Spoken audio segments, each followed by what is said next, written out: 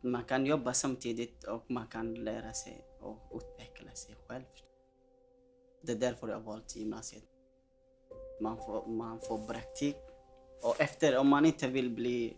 Om man inte fortsätter att studera, då man kan jobba direkt efter gymnasiet. Jag heter Manka och jag är 18 år och jag går på Katarina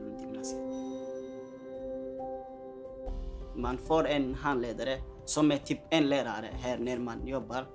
Och hon, hon hjälper mig väldigt mycket och hon visar mig allt hur man gör och sånt.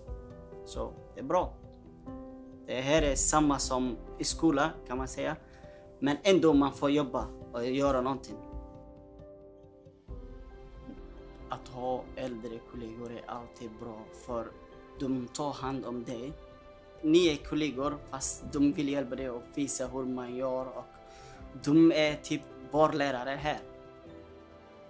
De har erfarenhet, de har jobbat här länge så de vet mycket och vi vet nästan ingenting så det är därför vi är här och vill lära oss någonting. Det blir bättre, bilden som jag har och hur jag upplever idag. Ja, det är bättre tycker jag.